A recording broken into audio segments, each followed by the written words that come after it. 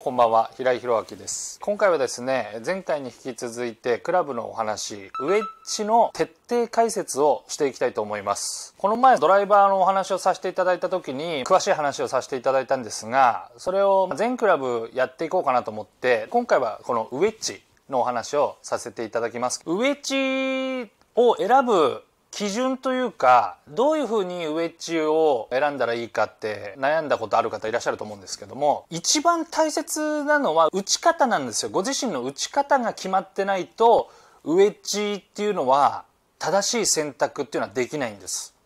ウェッジは何でもいいだろうっていうわけではもちろんないのでちゃんと自分のどういう打ち方をした方がどういう形状のウェッジが合うかっていうのがぴったりくるように選ばなきゃいけないので、下手したらドライバーより難しいかもしれないですね。選び方っていうのが。なので、その辺を解説していきたいと思います。平井宏明のワンダップゴルフまず、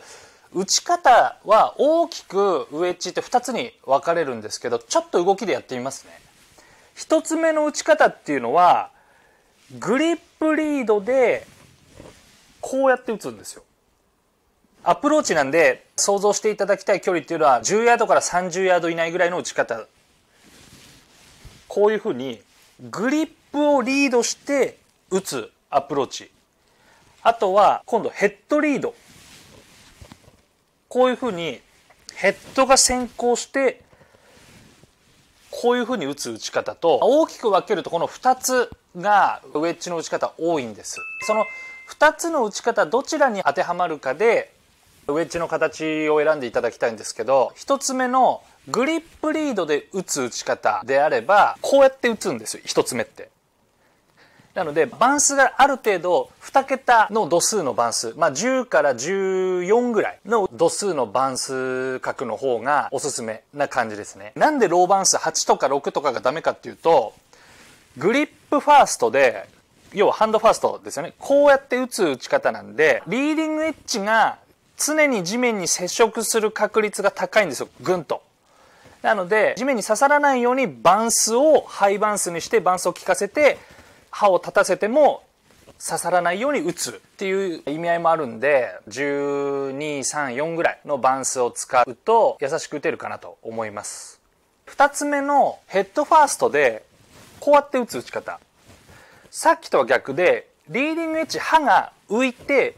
後ろのバンスが尻餅をついて滑るような感じになるんでヘッドをこうやって使ってアプローチなんか打つ方はローバンスの方がいいんですよ。8度とか10度以下ですよね。打ち方が決まってないとバンスの選び方だったりヘッド形状を最適なウェッジをなかなか選べなくなっちゃうのでまずはそのウェッジの打ち方を知っていただいた方がいいですね。よく練習場とかでも聞くのがこのウェッジいいから使ってみろよとかですねそうやって勧められて買って打ったけどあんまり今と良さが変わらないとかですねあると思うんですけどそれはスイングタイプが進めていただいた方とご自身と違ったりすると全然自分に合わないクラブだったりっていう風になっちゃうのでクラブの使い方が分かってないと高い買い物をして失敗しちゃう例とかって出てくるんですよ。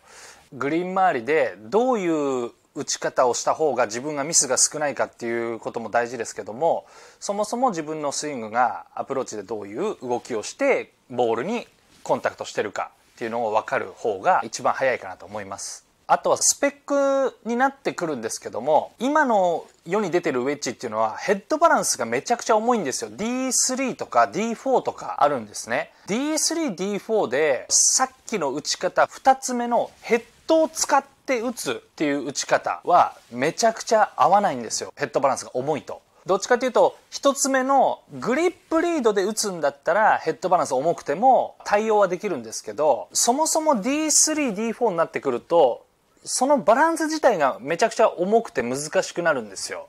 ヘッドバランスはできれば D2 以下がいいですよね。D0 とかマックス D1 ぐらいの頭でいた方がいいと思うんで僕なんかは C 級とか D0 とか使うんです。ウェッジは全然違和感なく打てるんですけどもちなみに僕は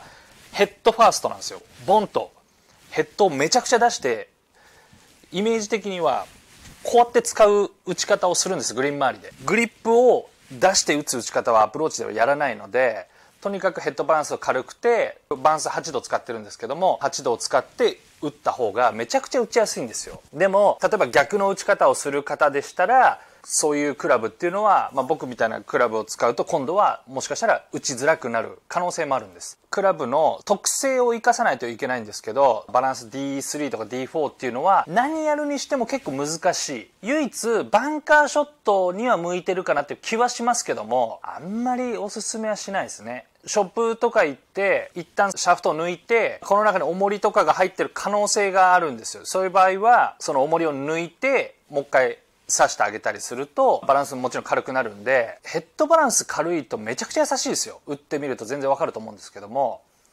使わないクラブがあったら一旦そのバランスを落としてあげてグリップ太くするだけでもバランスって落ちますんであとはここに穴を開けるとかですね。そうするとヘッドバランス軽くなって本当打ちやすいなっていう印象しか僕はなかったんでそれはすごいおすすめします。あとはそのウェッジに何を求めてるかにもよると思うんですけどやっぱりスピンですよね。スピンをかけたい。グリーン周りで寄せながら見せたい部分もあるじゃないですか。どういうクラブがスピンがかかるかっていうのもあると思うんですけどもちょっとその前に先週土曜日レッスンした時にお客様が女性の方だったんですけどもアキラっていうウェッジを使ってたんですよ。アプローチ結構うまいんですけどそのアキラのウェッジを使ってスピンをかけるっていう打ち方を教えたわけじゃないんですけどめちゃくちゃスピンが入るんですよ。それってやっぱもちろんクラブもあってその方の打ち方にクラブがマッチしてるんで勝手にスピンが入る。っていう感じなんですよ。もちろんその方こうガッてやってスピンかけにいってるわけじゃないんですよ。普通にただポンと打ってるだけなのにトーンキュキュって止まるウェッジショットが打ててたんで20ヤードぐらいかな。なんであんまり自らスピンをかけに行って止めるっていうよりはご自身に本当にマッチしてるクラブを使ってれば勝手にスピンが入るんで無理してスピン系のウェッジを選ぶとかっていう風にはしなくていいと思いますね。ちょっと話戻りますとスピン系とポッコン系ってあるんですよ。スピン系っていうのは重心がヘッドに対して重心がちょっと上に来てて溝もしっかり切ってあってヘッド形状はそもそもウェッジこれも2種類細かく分けるともちろんもっとあるんですけどもざっと2種類あるんですよ。ソールの部分をぴったり合わせてネックの長さ違うの分かります？向かって左側のウェッジの方がネックが5ミリぐらい長いですよね。右側のウェッジの方がネックが短いじゃないですか。ってことは単純にネックが長い方が重心が上に来てるんですよ。前回のドライバーの話でもさせてもらったんですがクラブは重心が高い方がスピンが入るんです。なのでスピン系のウェッジ欲しいっていうんだったらそのショップの中で一番ネックの長いウェッジを選んだ方がいいですよ。あとは今僕が知ってる中ではタイトリストのウェッジと14っていうウェッジこれ14っていうウェッジなんですけど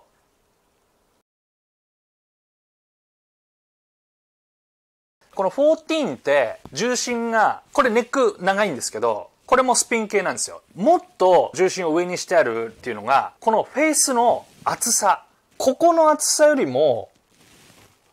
ここの厚さの方が厚いの分かります？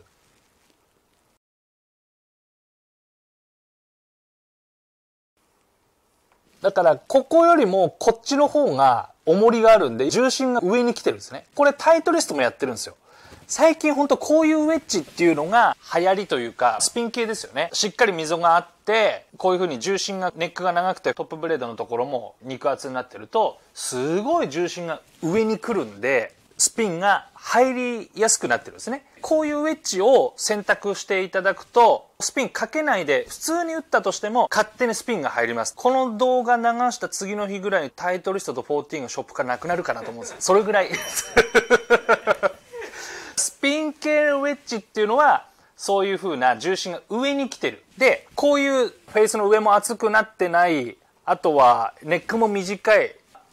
根系のウェッジの代表的なウェッジなんですけど、響き悪く聞こえてないですか？大丈夫ですか？このポッコン系はポッコン系でめちゃくちゃメリットがあるんですよ。それは、そもそもアプローチで転がすイメージが強い方、あとはグリーン周りからパターのイメージの転がしでピンに寄せたい方なんかめちゃくちゃおすすめなんですよ。どちらかというと、僕なんかはこういうウェッジの方がイメージは出やすいです。いい悪いではないんですよ。自分にどっちが合ってるかだけなんで、こういうウェッジ、スピンが入りづらいウェッジを好む方っていうのももちちろんプロの中でもいらっしゃるんで自分がどういうグリーン周りで攻め方をするかで選んでいただいてもいいかなと思います。うん。ポッコン系っていうのはポッコンって出てキャリーとランが5対5ぐらいを常に打ち続けるような感じの球をポッコン系。打った瞬間にポッコンつって上に上がるやつ。スピン系って低く出るの。それはフェースに噛むからボールが。スピンが入って。それがギュッて出るから低く出てキャリーが7のランが3ぐらい。滞空時間の方が長くて落ちてからが足が短い。スピンがかかる。どういうイメージでピンに寄せるかっていうのがイメージが出る方がいいです。ポッコン系。うん使い分けるもちろん。女子なんかも多いし逆言えばたけちゃんはマンスピン系だから。でもめっちゃくちゃ転がしもやる。意外と男子の方が多いかもしれない。両方使う人。女子はねどっちかというとスピン系の方が少ない。ガンって入れてコンココって止まる感じを打つ人は少ない。止まるから女子のグリーンって。もちろんコースによるんだけどメジャーになってくるともちろん硬くなってきて止まりづらいだけどまあまあ止まるしスピードもそんなに男子ほど速くないからそこまで切りに行ってギューって止めるところっていうのはやんなきゃいけない場面っていうのは少ないよね。それなぜかっていうとマネジメントなのよ。もちろんプロはマネジメントしっかりしてる女子もすごい最近プロキャディーさんもすごい多くなってきて本人たちもめちゃくちゃ練習してめちゃくちゃ頭使ってやってるからそういうところに外さないんだよね。だから切って打たないと寄らないところに打たないようにしてるっていうのももちろんあるからそういう部分でもあんまりないから男子はもう無理してバンって打つ場合もある。リスクもあるじゃない。そうするとギューンっつってやんなきゃ寄んないところに行く可能性があるのよ。だからそういうところで女子の方がそういうスピン系を見る機会っていうのは少ないかもしれない。やればできる人も全然いるし多いと思うんだけど。技術の面っていうのはあんま変わんないね。男子の方がそういう局面っていうのがセカンドショットの関係上多くなってくる。あとはねバンスが少なければ難しい。バンスが多ければ優しいっていう判断をしてる人が多いのよ。俺もちっちゃい頃そうやって言われた記憶があるのよ。でもそれく違うものでその人がどういう打ち方をするかでバンス角を選ぶだけの話でだから違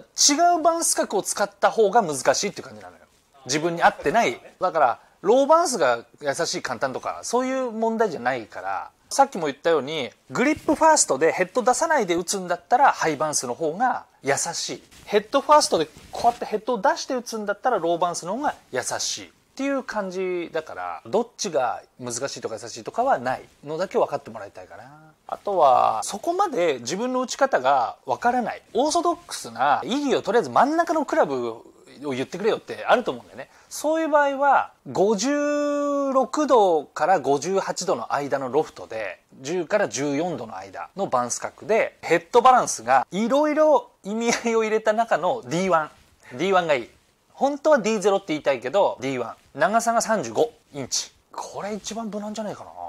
どっちにも主張してない。クラブかな。それがいいな。その中でも上げ好き転がし好きがいると思うんだよね。スイングは分かんないけどポーンって上がった方がイメージいいのか転がした方がイメージいいのか。転がした方がイメージいい人だったら今言った中の56でバンス12を選んでほしい。長さとヘッドバランスは一緒。ちょっと上げたいなって